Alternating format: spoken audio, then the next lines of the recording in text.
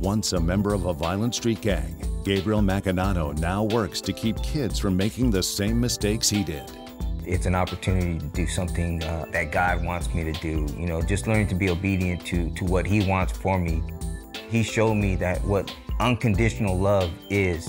It's just love no matter what. All it takes is, is some words saying, God, I want to know you. And no matter where you're at, He will grab you and hold you and tell you that it's going to be okay.